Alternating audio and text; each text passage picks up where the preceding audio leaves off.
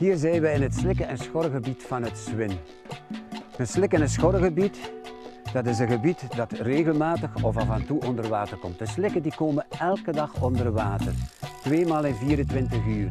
Dus met andere woorden kun je daar ook geen planten vinden, want dat water komt op en dat water gaat af. Met andere woorden, geen plantje kan zich daar vastzetten, de zaadjes worden weggespoeld. Maar daarnaast hebben we dan de schorre.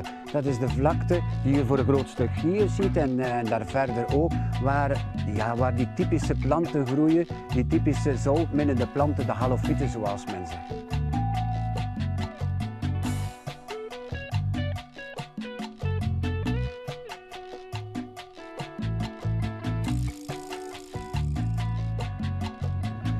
Hier hebben we onze eerste zoutminnende planten. hè. De paarse bloemen, eh, de, de, de paarse zwennebloemen, de volksnaam. Hè. Eh, eigenlijk lamsoor. Moet je eens van dichtbij bekijken.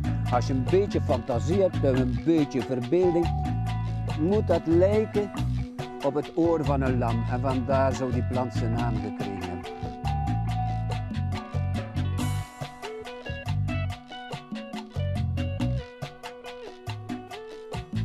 Dat is nog een plantje dat in volle bloei is en dat nog zijn volle kleur heeft. Die, die zijn al aan het verwelken.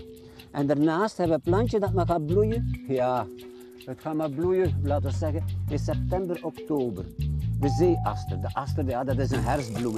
En die blaadjes worden geheerd. Als je hier in een visrestaurantje een visschoteltje gaat bestellen, gegarandeerd ligt er zo'n blaadje op.